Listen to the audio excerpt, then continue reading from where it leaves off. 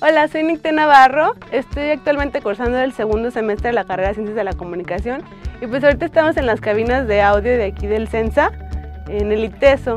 Eh, uno de los beneficios que te ofrece el, tener estas instalaciones a tu disposición es que pues bueno, puedes desarrollar tu creatividad, tu expresividad al máximo.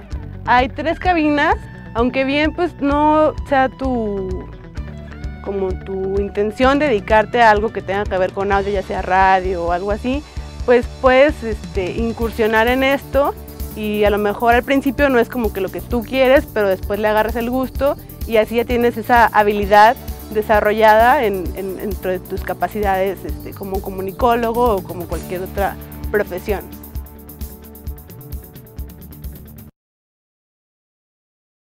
ITESO Libres para Transformar, Universidad Jesuita de Guadalajara.